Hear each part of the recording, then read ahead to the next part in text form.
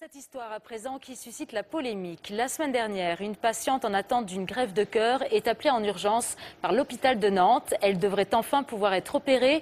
Une équipe médicale s'envole alors pour Metz où se trouve le donneur. Mais les chirurgiens sont obligés de rebrousser chemin car l'aéroport de Moselle est fermé pour cause de grève des contrôleurs aériens. Cafouillage, mauvaise communication, des questions demeurent. Caroline Sins et Mathias Segaud. Une greffe de cœur, c'est une course contre la montre. La moindre erreur peut être fatale, comme cette nuit du 2 avril à Nantes. Une femme devant être greffée apprend que son opération n'aura pas lieu. Une immense déception. J'ai quand même la chance euh, d'être toujours là, hein, bien sûr. Mais il faut savoir qu'il y a des personnes qui attendent la greffe et qui sont branchées sur une machine et ça aurait pu avoir des circonstances dramatiques.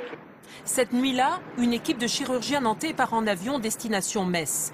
Ils vont chercher le cœur prélevé sur une femme en état de mort cérébrale. Ils ne pourront pas atterrir à cause d'une grève des aiguilleurs du ciel.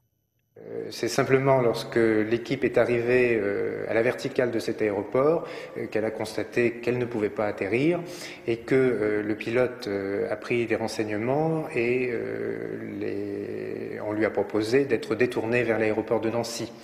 Un détour bien trop long. Accusés d'avoir fait échouer la greffe, les aiguilleurs du ciel se défendent. Les contrôleurs aériens de Metz-Nancy-Lorraine ne sont pas du tout responsables de l'échec de cette mission, puisque pour la simple et bonne raison qu'ils n'étaient pas du tout au courant de ce, vol, euh, alors que le numéro de téléphone de l'encadrement local était connu et euh, personne ne les a contactés un défaut de communication et une opération annulée, ce qui arrive parfois car la durée de vie d'un cœur est de 4 heures seulement. Il arrive effectivement environ une dizaine de fois par an sur, euh, on a fait l'année dernière 400 greffes de cœur à peu près.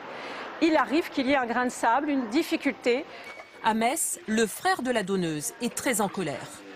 Je trouve ça absolument scandaleux. On, a tué une deuxième femme ma soeur. Une enquête interne est en cours pour déterminer les responsabilités de cet échec. La femme devant être greffée attend, elle, un autre cœur.